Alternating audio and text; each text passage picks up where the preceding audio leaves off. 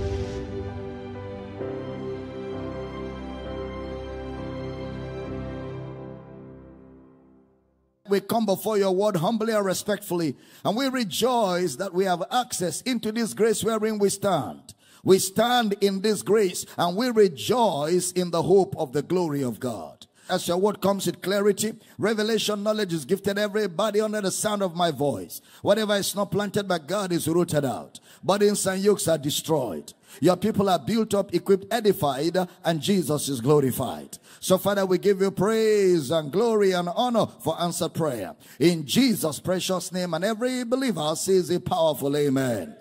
Glory! Glory! Lift your right hands to heaven. Let's release our faith together as we say these words I am born of God. I am born of the Word. The Word of God is my nature. I do not struggle to do the Word, I do the Word naturally. Therefore, today, I will understand the Word of His grace. I will be built up. By the end of this service, I will never be the same. Never ever be the same again. In Jesus' name, and every believer says a powerful amen. Are we excited to fellowship together in the word? Can we celebrate our fellowship in the truth, in the word? Glory, glory. Amen. Grab your pen, your notebook, your Bible. You can be seated with your sweet, smart self as we get into the word. We want to welcome everybody connected to this service by way of Kingdom Life Network, all of our social media community, brothers and sisters online. We want to welcome you to the service, guys. We're going to have a great time of studying. What a joy to have all of you. Do me the favor, share the videos, tag some people, drop them on as many groups as possible. Also, subscribe to our YouTube channel, Abel Damina Ministries on YouTube. Also, you know, like the YouTube channel and of course also engage in the course of the service. Let's get this word to the ends of the earth. We also want to welcome the radio audience in Akwa State, wherever you're hearing the sound of my voice. We're so glad that you're a part of our church family, and we're so glad that you're always tuning in to be equipped and built up with the knowledge of the Lord Jesus Christ. Do me the favor, call a friend, a family member, a loved one, ask them to tune to this radio station right now. Life is flowing through the airwaves. Every Bible study has a destination. Every Bible study has a destination. A path must be created in every Bible study. A path must be created in every Bible study. That path is the word of truth. That path that the Bible study seeks to arrive at is the word of truth. And the word of truth, Acts chapter 20, verse 32, puts it like this And now, brethren, I commend you to God and to the word of his grace which is able to build you up and to give you an inheritance among all them which are sanctified. So we call it the word of truth, and Brother Paul calls it the word of his grace. So the word of truth is the word of his grace. In the book of Philippians, chapter 2, verse 15, that ye may be blameless and harmless, the sons of God without rebuke, in the midst of a crooked and perverse nation, among whom you shine as lights in the world. You shine as lights in the world. Next verse. Holding forth the word of life. Holding forth the word of life, that I may rejoice in the day of Christ, that I have not run in vain, neither labored in vain. So, Brother Paul calls you to the church in Philippians the word of life. The word of life. So, it is the path, which is the word of truth, rightly dividing the word of truth. That's the path in Bible study or the word of his grace or the word of life. The same thing, the word of God. Hebrews chapter 4 verse 12. For the word of God is quick and powerful and sharper than any two-edged sword, piercing even to the dividing asunder of soul and spirit and of the joints and marrow and is a discerner of the thoughts and of the intents of the heart. So the writer of Hebrew calls it the word of God. Revelation chapter 19 verse 13. And he was clothed with vesture dipped in blood, and his name is called the Word of God. His name is called the Word of God. So the Word of God is a person. The Word of God is a person. The person of Jesus is the Word of God. The Word of God is a person. The person of Jesus is the Word of God. In First John chapter 1 verse 1, that which was from the beginning, which we have heard, which we have seen with our eyes, which we have looked upon, and our hands have handled of the word of life. Of the word of life. So John calls it the word of life. In John chapter 1 verse 1, he says, In the beginning was the word, and the word was with God, and the word was God. So he calls it the word of God. In Second Corinthians chapter 5 verse 19, to wit, that God was in Christ reconciling the world unto himself, not imputing their trespasses unto them, and had committed unto us the word of reconciliation. Brother Paul again calls it the word of reconciliation. That is the path that the Bible study seeks to arrive at. Every Bible study seeks to arrive at the word of truth, rightly dividing the word of truth or the word of his grace or the word of life or the word of God or the word of God being a person of Jesus or the word of life. Jesus is the life of God, the word of life or the word of reconciliation. So you must rightly divide it. The object of Bible study is not the ability to quote scriptures and mesmerize people or wow people like the Pharisees and the Sadducees.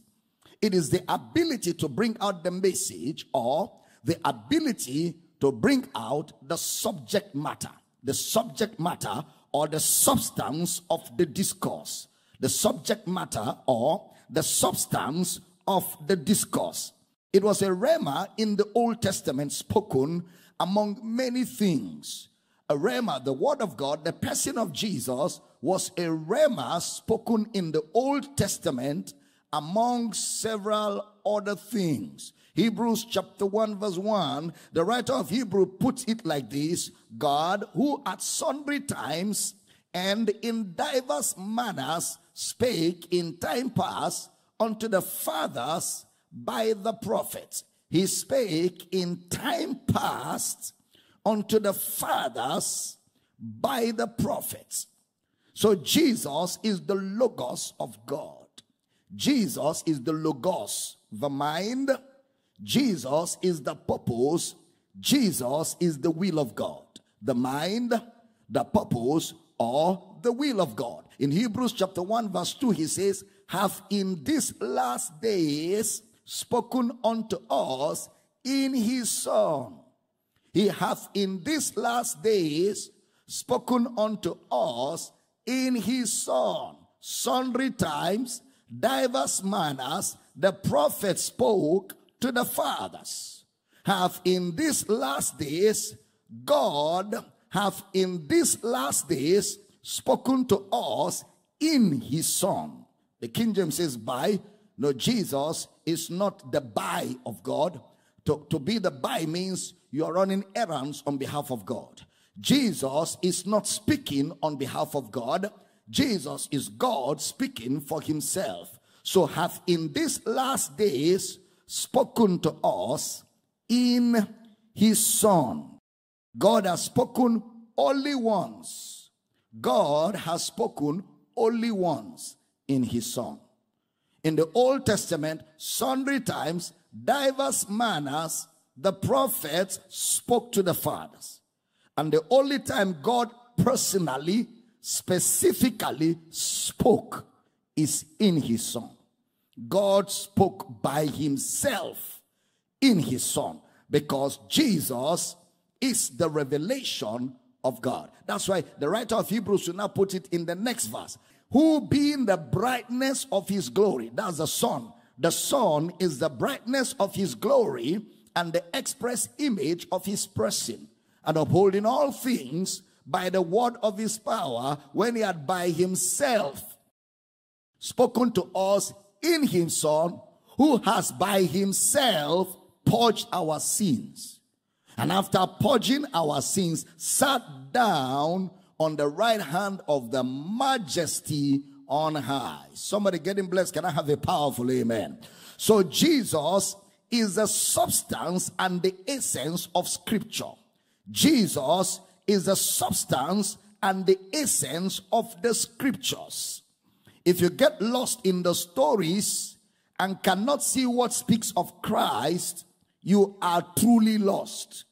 If you get lost in the stories of the Bible and cannot identify what truly speaks of Christ, then you are truly lost. In Luke chapter 24, in a Bible study, Jesus now looked at those guys on the way to Emmaus and said to them from verse 25 to 27, O fools, slow of heart, to believe. Take note of that. To believe. All right, now, he didn't say to know what the prophets have said, but to believe. Because they've been reading the prophets. That's why I said they are slow of heart. They've been reading the prophets. They've been reading the prophets, but they didn't believe. Why didn't they believe what the prophets have said? Because they couldn't identify the substance. They could not identify the essence of the speakings of the prophets. So since they couldn't identify the substance and the essence, the ability to believe was not given to them.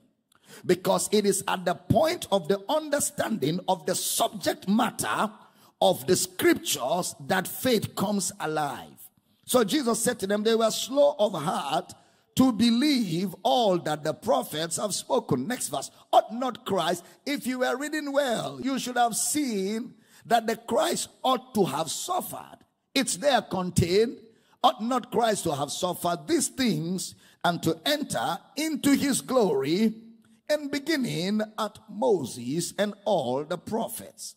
He now began to sort them out. He expounded unto them in all the scriptures the things concerning himself.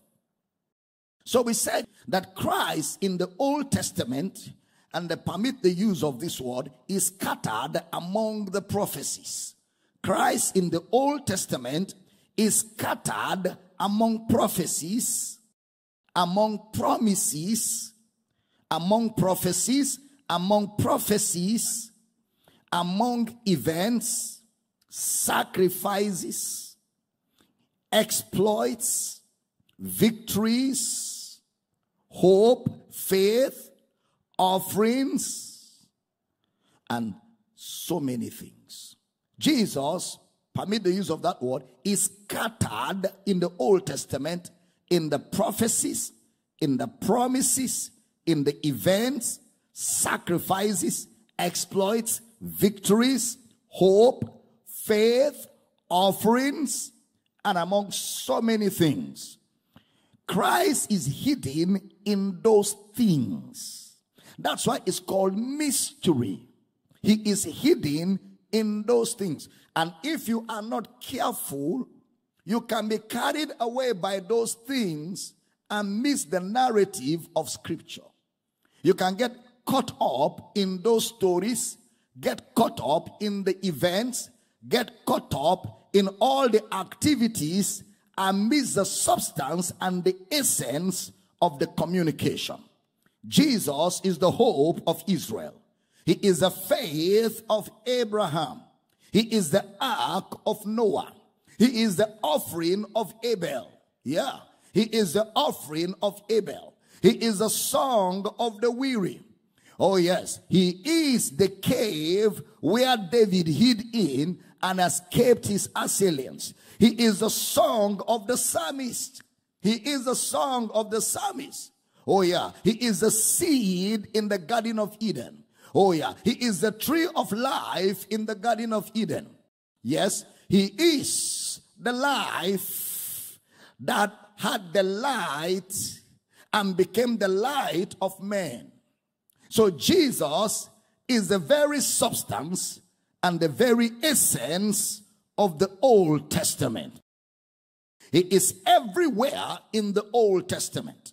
As long as we can be diligent to see where these things are communicated. Because if you look at the state of humanity with the fall of Adam, nothing was supposed to move well at all. Man died. Man was lost. Man rejected the life of God and man received judgment. There was a curse upon the earth. So every light and life and hope that we see that brings men to God and God to men had to be communicated in a figurative communication. Had to be communicated in a figure of speech or had to be communicated symbolically because of the state of fallen man. Had to be communicated using earthly things to bring out spiritual lessons because of the fallen nature of fallen man. Can I have a good amen? So because of that, the scriptures therefore must be rightly divided. A path has to be created in Bible study to arrive at the truth of the scriptures. Now we began to say that we're going to identify Jesus by what Jesus says about himself. We're going to identify Jesus by what Jesus says about himself and what others say about him. We're going to look at three to four names, three to four names, actually about four names And you will discover Jesus was called four different things that are very critical in the understanding of Christianity. Jesus is the reason for Christianity. He's the reason behind it. If you don't know Christ, you're not a Christian. To, to be a Christian, Christ-like, you've got to know the Christ of the end. You have to know the Christ because the Christ is the substance and the essence of Christianity. If you don't know Christ, you're actually not a Christian. Okay? You're just wearing a label that necessarily does not describe you. You're just carrying a label that doesn't belong to you. Because you can only be called a Christian by the revelation of Christ Jesus who takes up residence in the heart of those who believe the gospel. So there were four things he was called. Please pay attention. You know, today we don't call him Lamb of God. If you call Jesus the Lamb of God today, it is because you are ignorant. That's why you call him a lamb. Because that word Lamb of God is a figurative description of his sacrificial work. Okay, a figurative description of his sacrificial work. And he has finished that sacrificial work. So we don't call him the Lamb of God. Again, remember, we took time to establish a number of things. You know, of, of course, we can say it, you know, and that you call him Lamb of God doesn't mean you committed a sin. Okay, it just means that, uh, you know, there's an understanding that you are yet to arrive at. We can call him bread of life. Bread of life. Sent down from glory. Because he is the bread of life. That's who he was. He's no longer the bread of life. That's who he was. The word bread of life was used as a figurative communication because it was a communication to men that are not saved, a communication to men that do not have the spirit because the word has become flesh. So he's no more bread. The word has become flesh and dwelt among us. The word has become flesh and dwelt among us. And we have beheld his glory as the glory of the only begotten of the Father. But is it wrong to call him the rose of Sharon, the lily of the valley, the bright and the morning star? He is the lily of the valley, the bright and morning star. He is the fairest of ten thousand to my soul. He will never, never leave me, nor yet forsake me here. While I live by faith and do his blessed will. So I still remember the song. I'm just trying to. It's a long time I sang that song. All right? But you know, the Bible is in progressive revelation. We can have more insights and we can have more depths as to who he is. That's what we're learning. And the better we know, the clearer it gets for us, the stronger our persuasion and our conviction about the person of Jesus Christ. So, yes, if you want to call him the lily of the valley, there's nothing wrong with that. But all those are figurative expressions of the person of Jesus Christ. You know, if you look at the four gospels, you will see that Jesus was called Jesus. Jesus in the four gospels. He was called Jesus. That's who he was. Now remember, we are looking at who he was, who he is, and who is to come. Who he was, who he is, and who is to come. Jesus the same yesterday, today, and forever. The same person. He has never changed. I, the Lord, I change not. Jesus the same yesterday, today, and forever. I, the Lord, I change not. Note this and take note of this. In the four gospels, he was called Jesus and no adjective added to it. No adjective added to it. Like when we say Jesus Christ. Christ is an adjective added to Jesus. Christ is an adjective. But Jesus is a person. Jesus is a person. But Jesus Christ or Lord Jesus are adjectives. Jesus Christ, Lord Jesus, they are adjectives. Now, where he was called Jesus with no adjective, 612 times in the four gospels. Jesus with no adjective was used 612 times in the four gospels. In the other books, he was called Jesus alone, no adjective, 71 times. Jesus alone, no adjective added to the name Jesus 71 times in the other books. And interestingly, if you're a Bible student here, pay attention. 38 of the 71 times is in the book of Acts. 38 of the 71 times is in the book of Acts, which is a transitional material. The book of Acts is a transitional material, a book that is historical, that speaks of how the church grew in revelation, a historical book that exposes to us how the church grew in revelation. So, in the growth of revelation, we have him called Jesus 38 times without any adjective. And most of the times, when it was called Jesus only, was to refer to the events of the four gospels. The events of the four gospels. So he was called Jesus only 71 times. And 38 of the 71 times was in the book of Acts. Note this. In the four gospels, he is called Christ. He is called Christ 56 times in the four gospels. He is called Christ 56 times. However, in the other books, he is called Christ 256 times. In the other books, he is called Christ 256 times. That shows you the usage of that title, which means that title, Christ, had to do with dispensation. It had to do with dispensation. 256 times Christ in the other books. What does it mean? So Christ was used more after he rose from the dead. After Jesus rose from the dead, he was called Christ. That was more in use.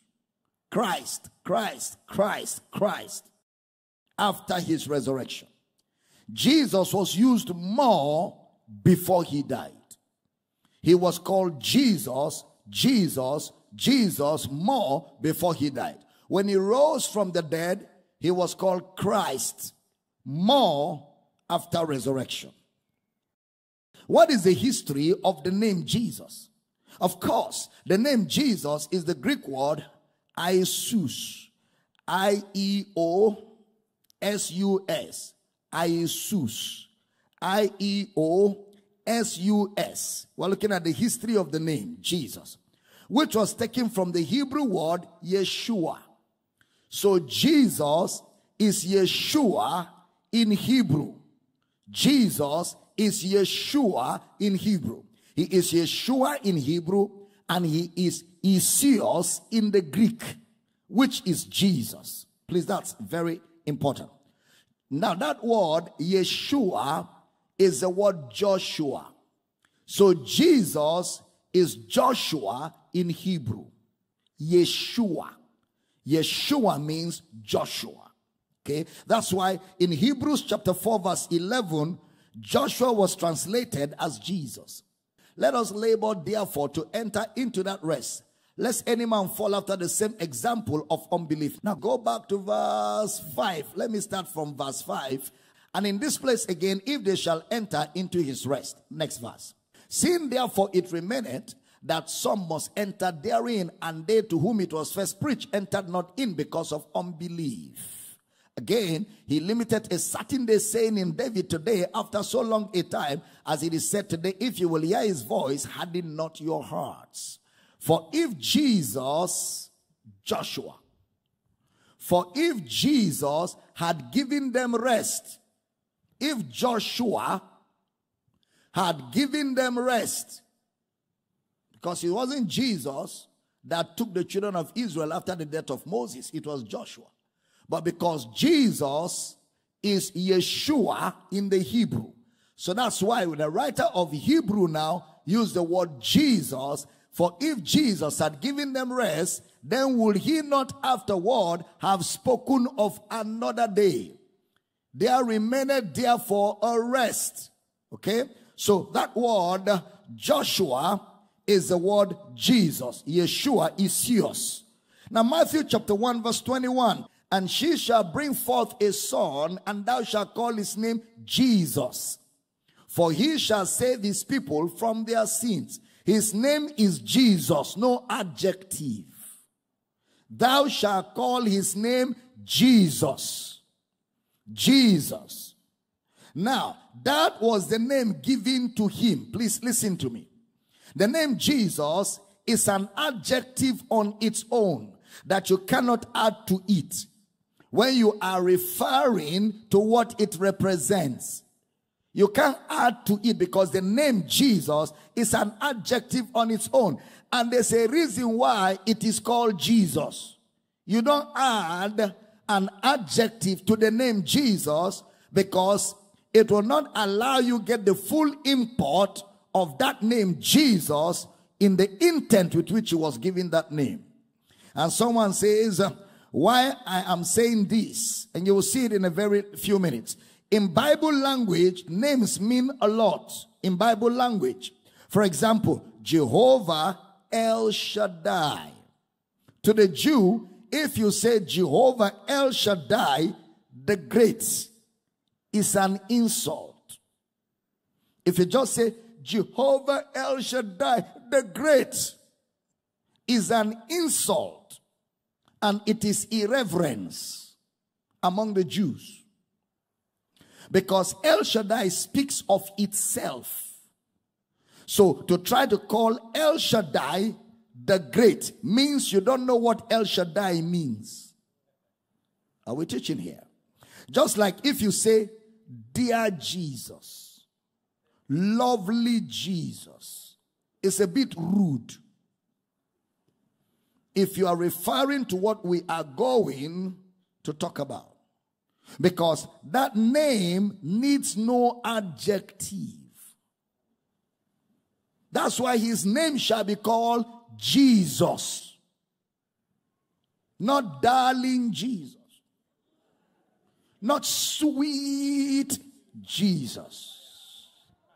His name shall be called Jesus. You know, the Bible is such an intelligent material. Very intelligent. It takes only a degree of supernatural intelligence to access the treasures in it.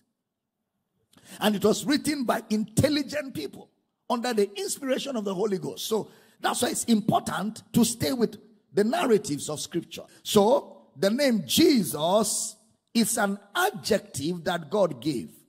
For example, when you say the grace of our Lord Jesus Christ, the love of God, and the sweet fellowship of the Holy Spirit, the sweet, that sweet is carnality. That sweet is ignorance. Because the fellowship, the word fellowship means sweet. The word fellowship means sweet. So you don't add sweet to the fellowship. It means you don't understand what the fellowship means. Praise God. The fellowship of the Spirit is sweet. Is the sweetness itself, the fellowship. So to say the sweet fellowship or dear Jesus is not necessary because that name means something. You shall call his name Jesus. Why? For he shall save. The reason why he is called Jesus, not sweet Jesus, but Jesus is because he shall save his people from their sins. Are you still here? Okay. He shall save his people from their sins. That's the meaning. Jesus is not just Savior, He is Jehovah, is our salvation. That's the meaning of Jesus. Jehovah is our salvation. When you say Jesus, what you are saying is Jehovah is our salvation. It's not just Savior. Jehovah is our salvation. So it's not a nickname like darling, sugar, sweet. Mm-mm. Jehovah is our salvation. Now, it's not a sin if you call him darling Jesus, but it's not spiritual. if you call him darling Jesus, it's not spiritual. It's not a sin, but it's not wrong to say it. That means he shall save his people from their sin. It is the name of Jesus' earthly life. The name Jesus is his earthly name, is the name of his earthly life. It is the name of his sin bearing life. And the name Jesus is the name of his suffering. The name Jesus is the name of his suffering. You know, on the cross, there was an inscription on the cross of Jesus. How many of you remember? What was on the inscription? This is Jesus, the King of the Jews. Hmm. This is Jesus, the King of the Jews, the name of his suffering. That was his earthly name. No adjective. Don't call him lovely Jesus, sweet Jesus, dear Jesus. The name Jesus speaks of itself. Jehovah is salvation. That was the name given to us. There was no dear in the Bible. There was no sweet in the Bible. His name is Jesus. That name means something. That name is a revelation on its own. He shall bear the sins of his people. He shall save his people from their sin. Not this. Do you know that you will not find the word in Jesus throughout all scripture? In Jesus. You will not find it anywhere. Throughout all scripture. In Jesus. But you will find in Christ. You will find in Christ. But you will not find in Jesus. Okay? Why? Because of what the name Jesus was. So you cannot find in Jesus, but you will find in Christ. Interestingly, there was one translation that wants to defeat what I'm saying now. But let me get there quickly before all of you and explain. First Thessalonians chapter 4 verse 14. For if we believe, pay attention, that Jesus died and rose again, even so them also which sleep in Jesus. Which sleep in, that's the only place you will find that, and I'll explain to you right now. Which sleep in Jesus will God bring with him. No, it's not in in the original. It is which sleep by Jesus. Which sleep by Jesus will God bring with him. Which sleep by Jesus. They slept by Jesus, not in Jesus. So you won't find in Jesus because there is no such uh, name in the Bible. But you'll find in Christ. In Christ refers to the glory that will follow. Jesus refers to the suffering. In Christ is the glory that will follow. Ought not Christ to have suffered these things and to enter into his glory? So the suffering identifies with the name Jesus. The glory that will follow identifies with the name Christ or in Christ. All right, now look at Acts chapter 2.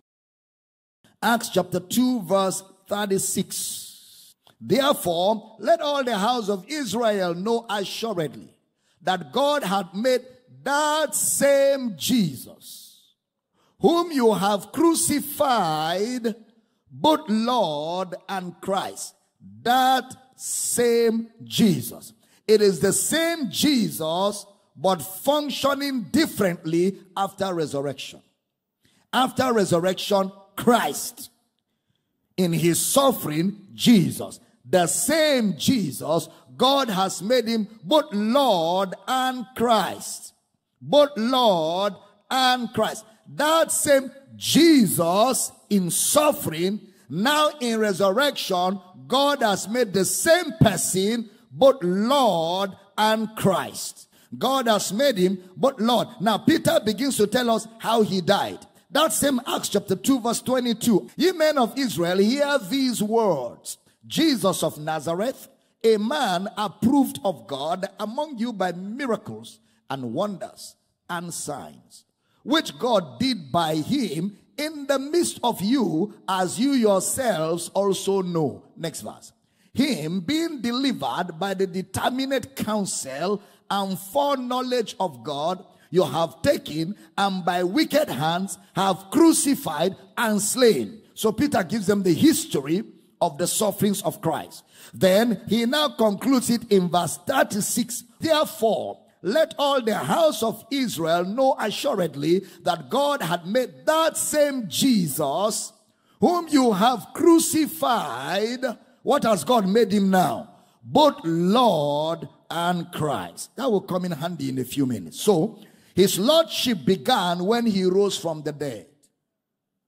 The lordship of Jesus began when he rose from the dead. That's when he became Lord and Christ. That was when he became Lord and Christ. Look at Philippians chapter 2 verse 5. Let this man be in you, which was also in Christ Jesus. Next verse. Who being in the form of God thought it not robbery to be equal with God but made himself of no reputation and took upon him the form of a servant and was made in the likeness of men. And being found in fashion as a man, he humbled himself and became obedient unto death, even the death of the cross. Wherefore, wherefore, God also hath highly exalted him and given him a name which is above every name. That at the name of Jesus, every knee should bow of things in heaven and things in earth and things under the earth, and that every tongue should confess that Jesus Christ is Lord to the glory of God the Father. So upon his resurrection, he is called Christ the Lord. Christ the Lord. Now, when did this happen? When he was born? Was he called Lord when he was born? When was he called Lord? When he rose from the dead. That's the Christ. The Christ is the Lord. So it's actually the glory of God the Father. However, notice it is when he rose from the dead that he was exalted. And I have told you there is the resurrection and there is the ascension. There is a resurrection and there is an ascension. When he was exalted and then he became Lord. Now notice that he is called Christ. Christ 56 times in the Gospels. He is called Christ 56 times in the four Gospels and 256 times in the epistles. 256 times in the epistles. Christ is from the Hebrew word Meshach. Meshach, where you have the anointed one. Meshach, the anointed one. It is not Messiah. Jesus is the one that came to save. The anointed one in the Greek is called Christos. In the Greek, Christos. In the Hebrew, Meshach. The Christ, the anointed one. It speaks more of a position than a person. In Christ, Christos, the anointed one. That's a position more than a person. He speaks more of a place a position than a person. It actually speaks of the glory. Luke chapter 24, verse 44. He said unto them, These are the words which I spake unto you while I was yet with you, that all things must be fulfilled, which were written in the law of Moses and in the prophets and in the Psalms concerning me. Verse 46 now. And said unto them, Thus it is written, and does it behoove Christ to suffer and to rise from the dead the third day. To suffer and to rise from the dead the third day. So it says he will enter his glory after three days. He will enter his glory after three days. And that is where we are identified now. We are identified today with that glory that he entered after three days. In First Peter chapter 1 verse 10, look at the way Peter will communicate these thoughts of which salvation the prophets have inquired and searched diligently. Who prophesied of the grace that should come unto you. Next verse. Searching what? or what manner of time the Spirit of Christ, which was in them, did signify when it testified beforehand what? The sufferings of Christ and the glory that should follow. Wow. That's why in the epistles, what you will see the most is in Christ. Christ in. It's a place. It's a place. That is the glory. In Christ. Christ in is a place, is a function. That is the glory that followed the sufferings of Christ. He is also called Lord. The Greek word kurios, one that has dominion. One, Jesus. Two, Christ. Three, Lord. Lord. The kurios, one that has dominion, the owner of something, like the like the owner of a territory, one who dictates what happens. The owner of a territory, the Lord, the Lord of glory. The Lord of glory. Woo! He is the Lord of glory. Hallelujah. He is the Lord of glory. Now notice this. At salvation, Romans chapter 10 verse 9 and 10. That if thou shalt confess with thy mouth the Lord Jesus, the Lord Jesus, you confess his lordship, the Lord Jesus, and shall believe in thine heart that God has raised him from the dead, thou shalt be saved. Verse 10. For with the heart man believeth unto righteousness, and with the mouth confession is made unto salvation. If you confess with your mouth what? The Lord Jesus, his lordship. If you were to translate it today, it will be if you will confess with your mouth the Lordship of Jesus, the Lordship of Jesus. That's the way it will have sounded if it was today. It is more than just calling him Lord.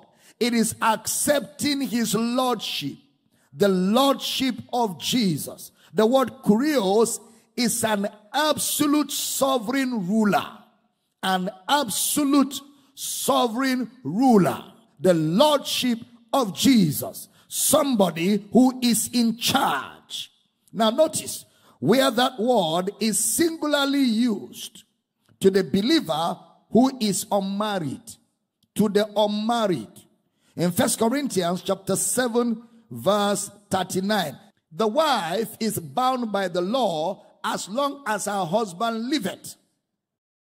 But if her husband be dead, she is at liberty to be married to whom she will.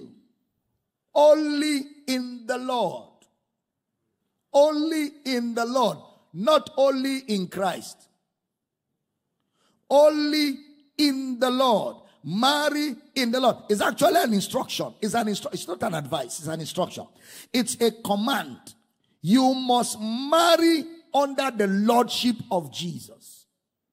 You must marry whoever you want to marry must be under the lordship. You too under the lordship. Both of you marry under the lordship of Jesus.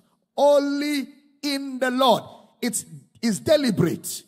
Brother Paul is deliberate in the way he wrote it. Look at Colossians 3:18.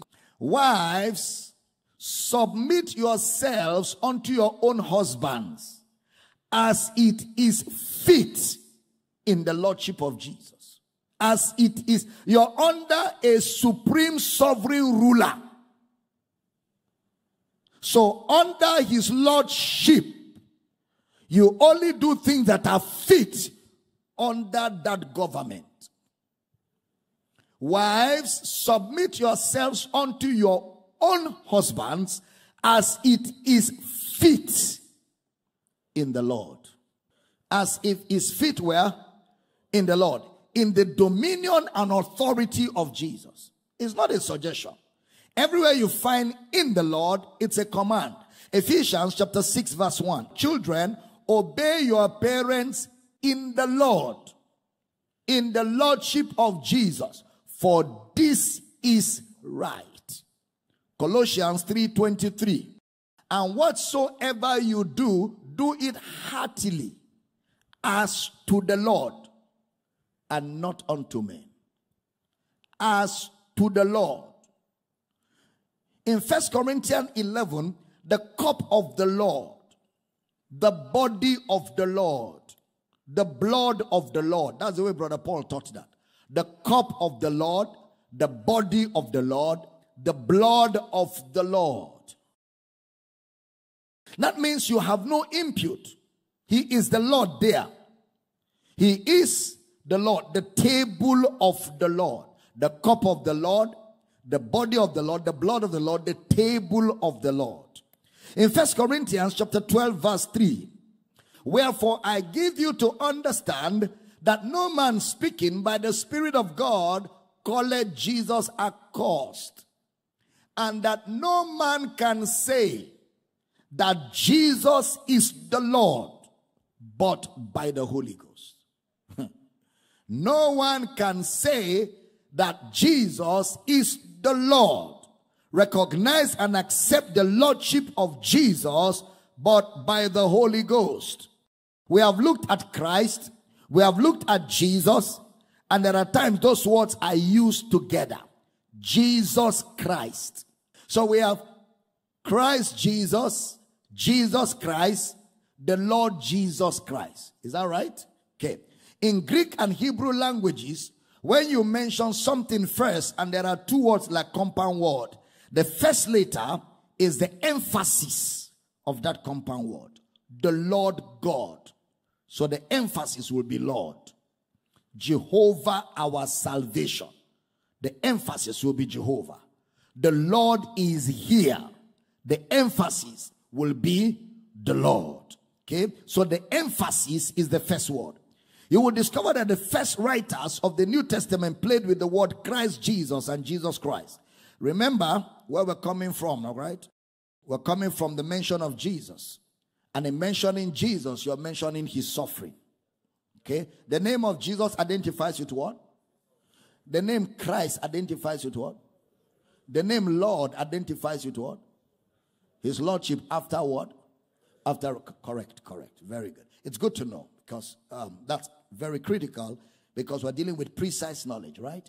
We're dealing with revealed knowledge. We're dealing with accurate knowledge. And that's very critical because that helps you to acknowledge the good things that are in you in Christ Jesus. Okay? Now, so when you mention Christ, you are mentioning exaltation, his exaltation. When you mention Lord, you are mentioning his dominion. Christ, exaltation, Lord, dominion. Jesus, suffering. Look at this interesting discovery. Notice the way Brother Paul addressed this church in Philippi. Philippians chapter 1, verse 1. Paul and Timotheus, the servants of Jesus Christ, to all the saints in Christ Jesus. To all the saints in Christ Jesus, which are at Philippi with the bishops and the deacons. Wow. Paul and Timothy, the servants of Jesus Christ, to all the saints and the Lord Jesus Christ. Why? There was an emphasis in each verse. When we say Jesus Christ, the emphasis is on the fact that he was humiliated and exalted. Jesus Christ. The emphasis is on the fact that he was humiliated and then exalted. It brings to our mind the humiliation, the suffering of Jesus that led to the glory. When you say Christ Jesus, it refers to where we are today. We are where we are today based on his sufferings.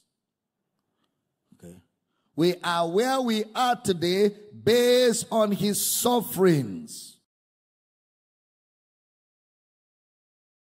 When you say Christ Jesus, Christ Jesus, we are where we are today based on his sufferings. And he says, saints in Christ Jesus. That's the way Paul addressed the church in Philippi.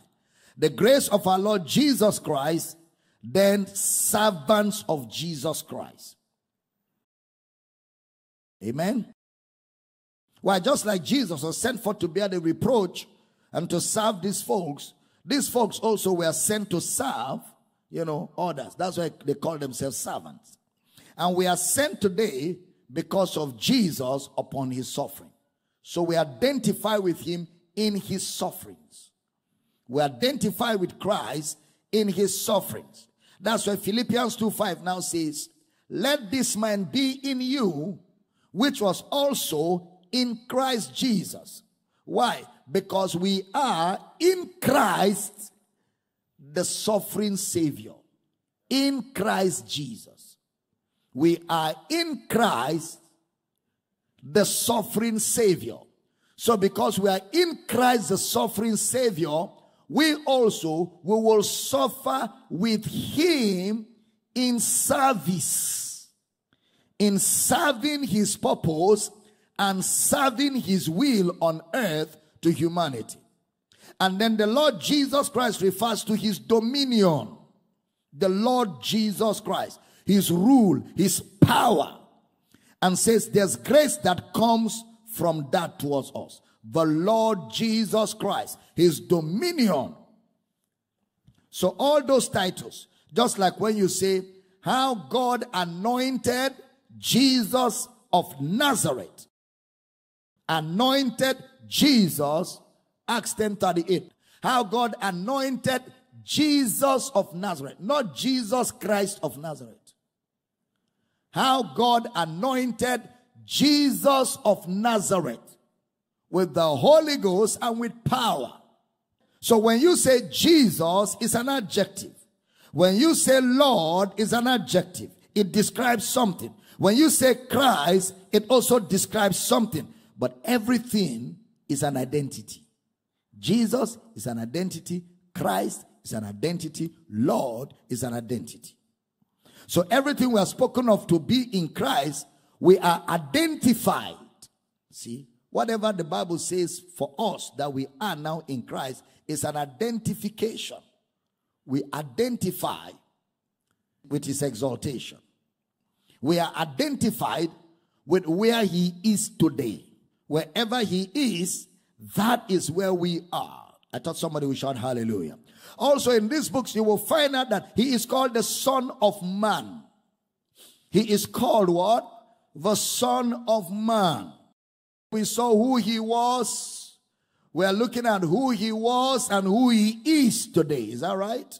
Who he was and who he is now in his exaltation, the Christ, who is the Lord. Okay. Now, he is called the Son of Man. But you have observed that he was also called the Son of God. So he was called the Son of Man. He was called the Son of God. In fact, I will show you where they were used interchangeably. Son of Man, Son of God. Son of Man refers to his humanity. Son of God refers to his divinity.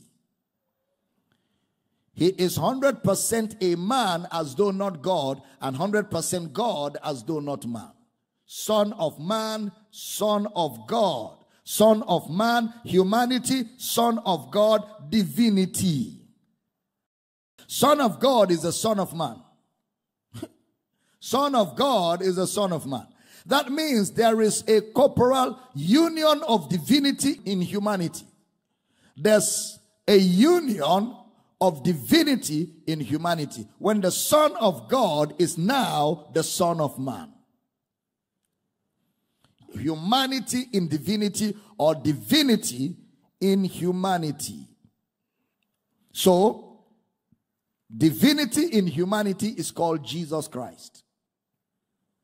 Divinity in humanity is called Jesus Christ. The Word became flesh. The Word became a man. The Word became a man. God became a man. The Word became a man. the Word became a man. God became a man. Oh? Eh? Where does the Bible say that Jesus is God? The Word became a man. God became a man. John 1 1. In the beginning was the Word. The Word was with God. The Word was God. Verse 14. And the Word, God, became flesh and dwelt among us. So Jesus, God, became a man, Christ, okay, and dwelt among. So Jesus is God who became a man and dwelt among men. Since we cannot go to God, God has to come to us because one must go to the other for there to be a relationship. But God cannot come to us as God because this planet cannot contain the full essence of God. Hey, so just like you too cannot go to heaven with this body because this body is not designed for a place called heaven. Heaven is a place but not a material place. Mars is material. Jupiter is material. So outer space and this cannot be cannot be the heaven of God because the heaven of God is immaterial. So since you cannot go to outer space like this because this body was created for earth. For earth. You came from dust, so you live where dust is. You are created from dust. You go back to dust. You and dust have to function together. Your means of survival is from dust. You plant trees and fruits and food from the ground to eat to survive. The most healthiest people on earth are people that thrive in an environment where there is more organic material. Uh huh. I'm teaching here now. Where there's a lot of organic. Okay. There's a lot of rubbish in our society today. That's why there are diseases that medical science is still contending with. Because when you feed this body what was not properly designed for this body, there will be a malfunction. That malfunction is what you call disease. Disease is this is something that diseases you. You are not at ease because there's a this. What brought the this is because you ate what does not allow for ease. I'm teaching here. Okay, so since you cannot go to outer space with this like this, they wear you a space suit because this is an earth suit. This body is an earth suit. That's why when people die, this body remains here. But they have died. It is this body, they, they remove the suit and drop it, and the real person goes. You don't find him in the suit anymore. He removed the suit. Eh? So, what keeps him functional here is the suit he's wearing. But when his time here is up and he's tired of here, he, he, he, they don't collect it from him. Just, you see, you see, I've just unbuttoned my suit, right? Did you see I've unbuttoned my suit? Pastor Philemon, come and stand with me. So now I have unbuttoned my suit. Don't come close. Don't come close. It's my suit, not your own. Don't come close. Just like, don't come close. Who removed my suit? I removed my suit. Okay? When I remove this suit and I give him, I'm no more in the suit. I'm not in it. I'm no more there. I'm gone. When we say somebody dies, what he did was to remove the suit and exit the suit. And the moment you exit the suit, you can no more function here because you need the suit to function here. But with this suit, with this suit, wait first. With this suit, I can operate here. Eh? Okay. If I must go to outer space, because outer space is not earth, this body can't function there. So they wear me a space suit that makes me compliant with the environment and make me able to function. But even with that, with training, because they will have to train me because in outer space, I don't walk like this.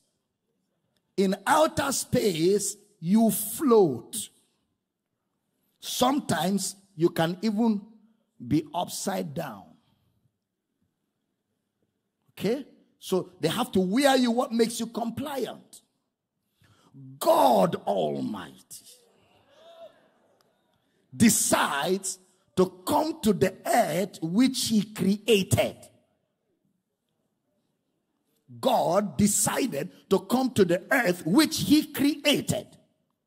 So what will God have to do? He can't come because he is not compliant with the earth. He existed before the earth, so he cannot be compliant with the earth. And the people that will live in the earth are not God. So the earth is not compliant with him. But he has to come in. So he humbles himself. He humbles himself.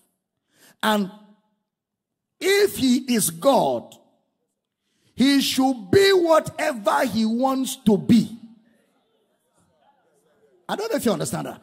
When they say, How can God have a son? If he is God, he should be whatever he wants to be, whenever he wants to be, anyhow he wants to be. That's why he's God. So he now decides so that you and him can relate. That's why he created it to relate he now put himself in an earth suit, stayed in the womb of Mary nine months, proper, proper earth suit, and came out. So, and the word, which is God, became flesh and dwelt among us and we beheld his glory. But upon his resurrection,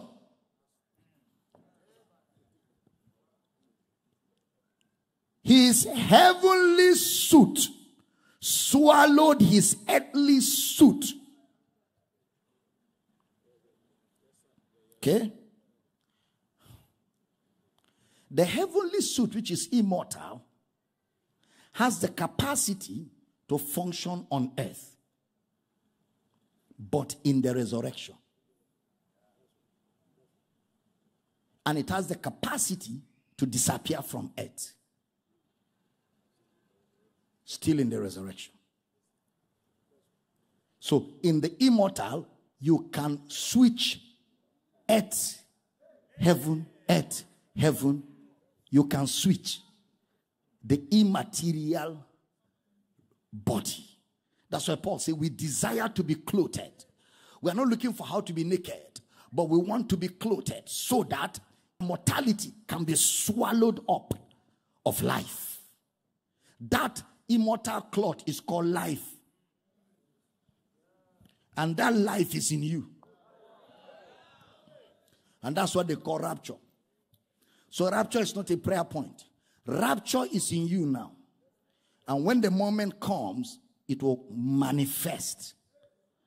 And mortality will be swallowed up of life. Everything we are spoken of to be in Christ, we are identified with his exaltation. The word became flesh and dwelt among us. What does that mean? Well, first of all, that word is used interchangeably. Let's see where it is used. John chapter 5, verse 20 to 23. For the Father loveth the Son and showeth him all things that himself doeth. And he will show him greater works than this, that ye may marvel. Next verse. For as the Father raiseth up the dead and quickeneth them, even so the Son quickeneth whom he will. For the Father judgeth no man, but had committed all judgment unto the Son. Watch this. That all men should honor the Son, even as they honor the Father. He that honoreth not the Son, honoreth not the Father which has sent him. Next verse. Verily, verily, I say unto you, he that heareth my word and believeth on him that sent me hath everlasting life, and shall not come into condemnation, but is passed from death unto life. Next verse. Verily, verily, I say unto you, the hour is coming and now is when the dead shall hear the voice of the Son of God, and they that hear shall live. Now, he has spoken about two concepts life and judgment. Life and judgment. And they shall live. So we receive life from the Son of God. We receive life from he that has the Son has life. We receive life from the Son of God. Look at verse 26 and 27 of that John where we just read. For as the Father had life in himself, so hath he given to the Son to have life in himself, and had given him authority to execute judgment. Also, because he is the Son of Man. Life is with the Son of God, judgment is with the Son of Man. Life is with the Son of God, judgment is with the Son of Man. So everywhere you find judgment and authority, you will see anywhere you find judgment and authority that Jesus is described as a man there. Anywhere you find judgment and authority. Look at Acts 17 31 so that you see what I'm teaching. Because he hath appointed a day in the which he would judge the world in righteousness. By who? By that man. So judgment is by the Son of Man.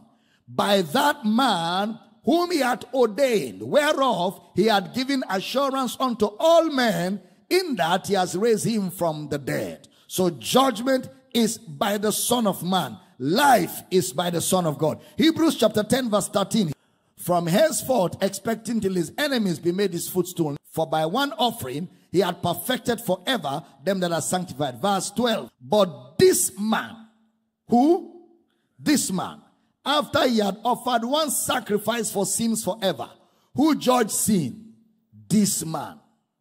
He is the judgment for sin. This man. Psalm 110 verse 1 and 2. Referring to judgment. The Lord said unto my Lord, sit thou at my right hand until I make thine enemies thy footstool. Verse 2. The Lord shall send the rod of thy strength out of Zion. Rule thou in the midst of thine enemies. That is judgment. Okay? That is judgment. So Jesus will execute judgment as a man. He gives life as the son of God. Look at First Timothy chapter 2 verse 5 and 6. For there is one God and one mediator between God and men, the man Christ Jesus, who gave himself a ransom for all to be testified in due time. So Jesus, the man, is the judgment of sin. So life, son of God, judgment. Can I hear it very loud? Judgment, life, son of God. So all these things are not carelessly written. That's why Bible study is important.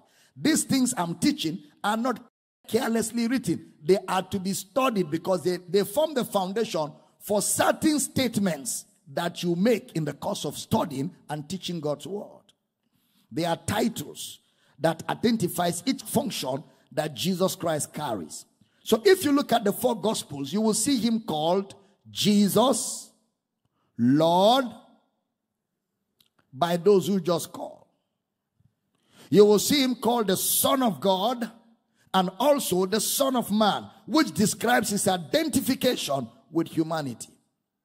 You will see him called the Son of God in glory, as touching his identification from God. So each title has its meaning. Each title has what it represents. They are not carelessly written in scripture. You don't just use them anyhow. You must know what they represent.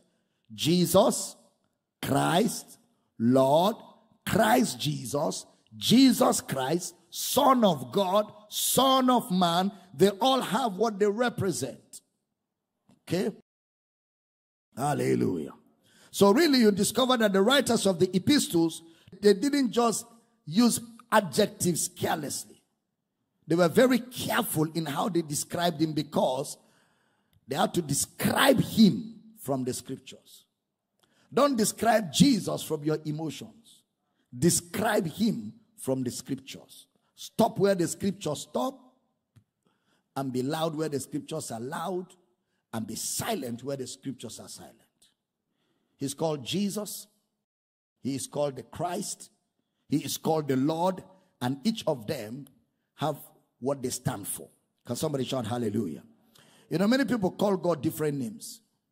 But you see, what he is to us in the scripture is our Father. Uh, what is he? Our Father. See, our Father is bigger than any other. All the adjectives you put together to describe him is not equals to our Father. Jehovah Nisi, Jehovah Jireh, Jehovah Tsidkenu, all of those are descriptions of Jesus. But when you say Father, Father carries all the ones you know plus the ones you don't know. Our Father. Hallelujah. Somebody shout, Our Father. Can I hear you shouting very loud? Can I hear you shouting loudest? He's called the Father of lights. Father of lights, with whom there is no variableness, neither a shadow of turning. He is called the Father of spirits. Our Father, the Father of lights, the Father of spirits, the Father of our Lord Jesus Christ, the Father of glory, the Father of light, the Father of spirits, the Father of our Lord Jesus Christ, the Father of glory. The Lord Jesus Christ, the Son of God, our Christ, our Lord. And if you say, my dear Jesus, dear has no spiritual value. My darling Jesus, darling has no spiritual value. Darling Jesus, darling Jesus. Oh, my darling, is a canal, canal. There's a canality.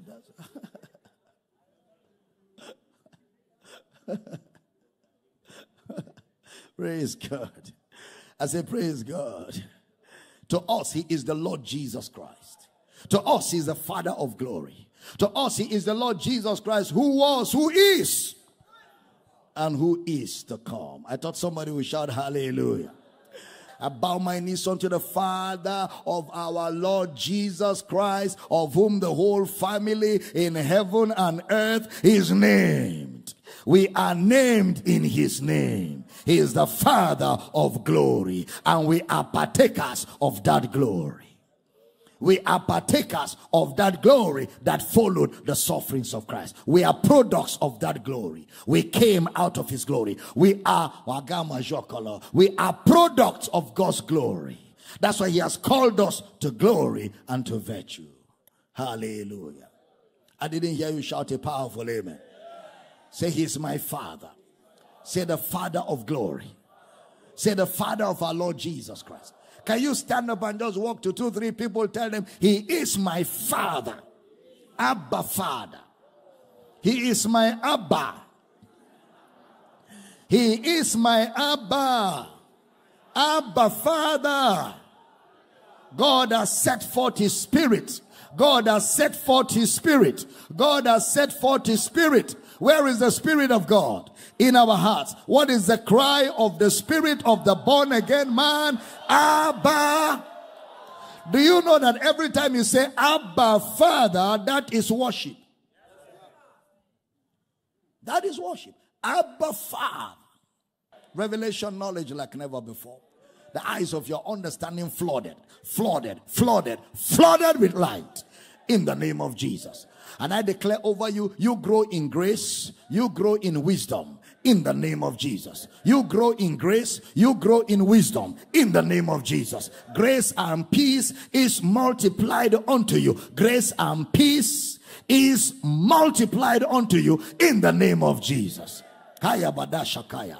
Libro sakentada. You have sufficiency in all things. You have sufficiency in all things. Leko sabara katona kata.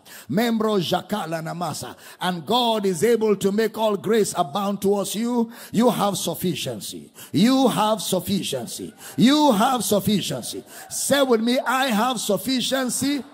Now say it three times. I have sufficiency. Two more times. One more time. Now say with me, I have sufficiency in all good things. Now say it two more times. Say it one more time. Now shout it loud. I abound unto every good work. Woo! I abound unto every good work. I abound unto every good work. I will abound in every good thing and in all that I need. In every good thing I will abound. We abound unto every good thing. We abound in everything that redemption has provided. Amen.